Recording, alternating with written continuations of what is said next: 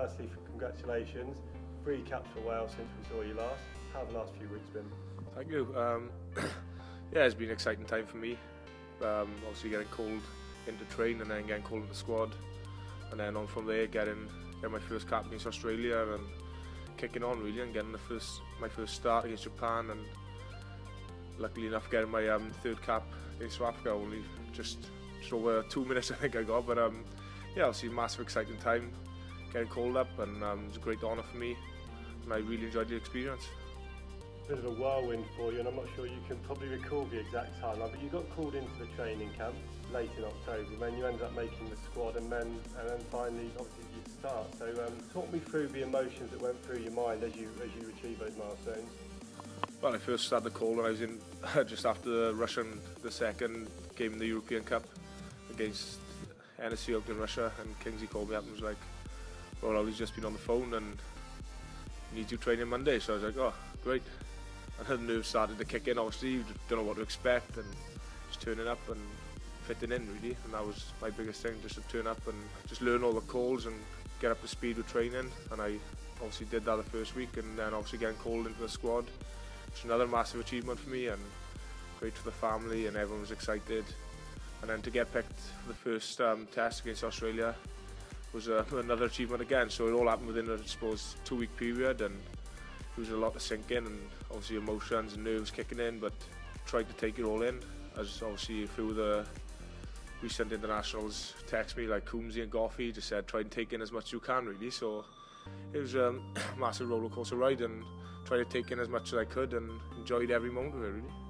Imagine the phone rang red hot when that squad announcement was made, making it into a 23-man squad. Who was your first phone call? Well, I obviously told my girlfriend first, so I was on the, so I gave her a quick text and then told my parents and my family, and um, can't really remember who rang me first. Really, I was in training all day, so I couldn't really answer anyone on the phone. I just back down to the field, back training, and then obviously after training, just to go and see the family and just soak in the experience.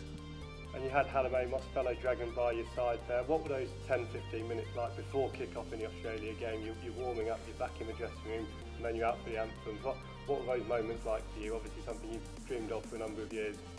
Well, exciting, really. I just, obviously, I said, a couple of the boys texted me, said, try to take it in and enjoy it. And obviously, you've got a bit of nerves and a bit of enjoyment and just mixed emotions, really. And I, um, I just really excited to get out there and listen to the crowd singing the anthem and the boys singing the anthem and just soaked it all in and it was, it was awesome really.